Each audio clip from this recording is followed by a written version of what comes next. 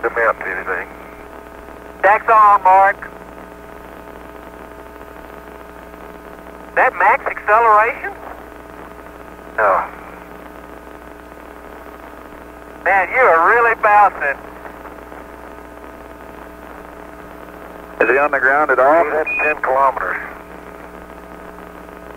Huh? He's got about two wheels on the ground. He's a big rooster tail out of all four wheels.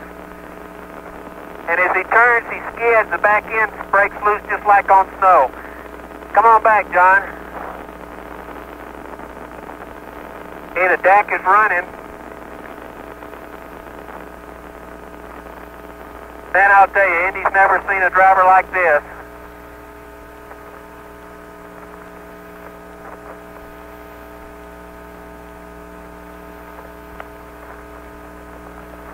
Okay, when he hits the craters and starts bouncing is when he gets his rooster tail.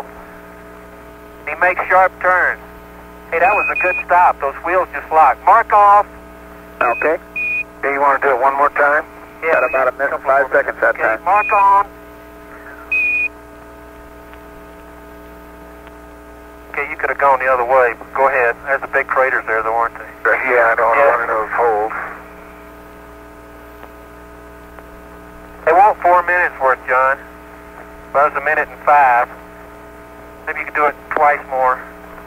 Charlie. Okay, turn sharp.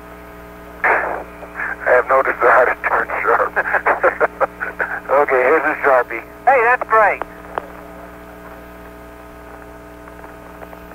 Man, those things, when, it, when those wheels really dig in, John, John, when you turn it's when you get the rooster tail. The Uh, suspension Charlie? system on that thing is fantastic.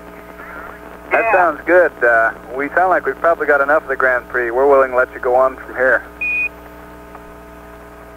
Call that a Grand Prix. Okay. Man, that was all four wheels off the ground there.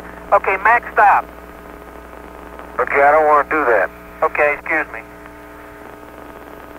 They say that's a no-no.